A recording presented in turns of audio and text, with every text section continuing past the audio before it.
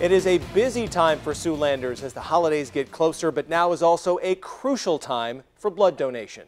Good evening, everyone. I'm Matt Breen. And I'm Stella Daskalakis. This week, LifeServe Blood Center in Sioux City is teaming up with Make-A-Wish Iowa for a week of life-saving blood donations. KTIV's Michaela Feldman introduces us to one family who, thanks to those blood donations, is enjoying a full life with their son.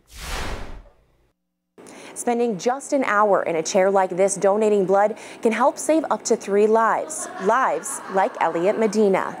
Nine year old Elliot Medina isn't new to the hospital or to needing blood.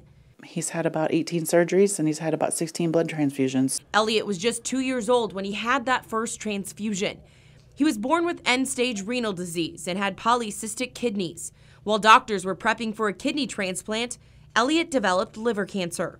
I was pretty shocked when they said that he had to have a blood transfusion. Um, I was nervous. It was necessary. I mean, there was no way of not having a blood transfusion. But those 16 transfusions wouldn't have been possible without people coming in and donating their time and blood.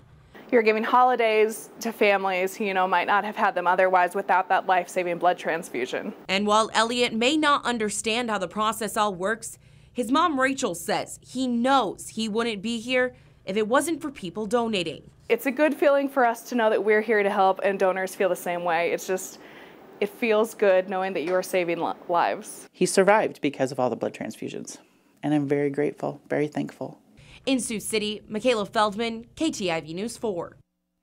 Elliot has been free and clear of cancer for seven years now.